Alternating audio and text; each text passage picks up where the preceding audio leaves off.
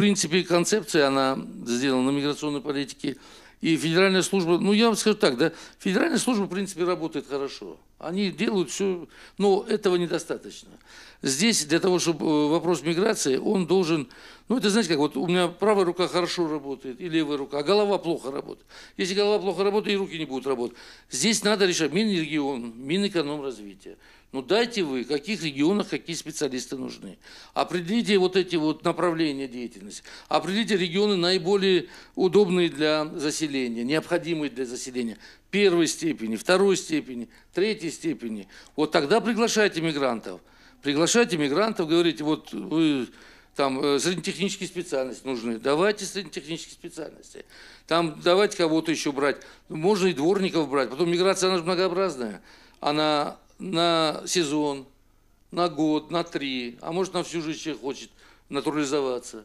Вот здесь в этом плане надо подходить более тонко, а потом, кроме этого, все-таки учитывать момент такой, это переселенческий момент, потому что внутри страны миграции, внутренней миграции, это не стоит называть, наверное, неправильно будет. Это переселенческие вопросы, это мобильность населения. Вот надо рассматривать вот эти моменты с тем, чтобы мы э, трудоизбыточные регионы – представители оттуда, могли бы как бы предлагать программу для переселения в незаселенные районы.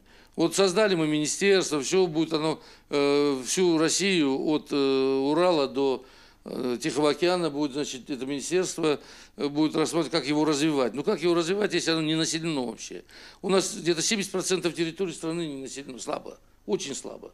В этом плане э, проводили такой Значит, была э, программа, а, вот как раз таки по миграции, которой занимается Международная организация труда. И вот по грантам МОТО МГУ проводили опрос Северный Кавказ.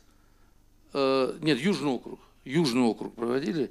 Оказалось так, что семьи, средний возраст семьи, значит, муж, жена 25-35 лет, при необходимых возможностях, допустим, там подъемные, жилье, работа, спокойно все готовы переселяться хоть на землю Франца Иосифа. Дайте работу, дайте возможность жить. Да, может быть, они не на всю жизнь, может, уедут на 10 лет туда. Ну, на 10, 10 лет проработают, там другие приедут. Но надо в первую очередь рассматривать возможность максимального обеспечения вот, занятостью своего населения. А потом уже, естественно, там добавляли. Нам не хватает населения, нам мигранты нужны, мы хотим или не хотим, мы вынуждены будем их потреблять, как говорится, и в больших количествах. Потому что у нас была пауза, вот президент недавно выступал, говорил, демографическая яма была в 90-х годах, и у нас скоро, вот сейчас мы начнем это чувствовать, нам не будет хватать людей. Поэтому, ну, к миграции надо с умом подходить. И я думаю, что вот те вопросы, которые мы в том числе и на комитете рассматривали и на совете президентском, не может быть миграционной политики вненациональной. Она так или иначе связана с какими-то этносами, с их перемещением, смешением.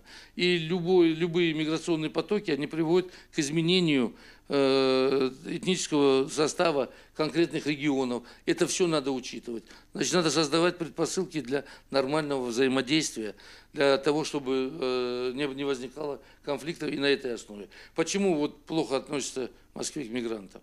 Ну, во-первых, э, то, что преступность, это нелегальная миграция. Легально они все работают. Нелегально. А нелегально почему есть? Да потому что работодателю выгодно. Он налоги не платит, он пишет ему 50 тысяч, а платит 10, если вообще платит. И это все приводит к тому, что вот она коррупция в этой сфере. Вот сейчас закон готовится, где будет и работодатель отвечать за, если будут обнаружены нелегальные мигранты, э, в работе его будут участвовать, они будут отвечать за это и рублем, и тюрьмой.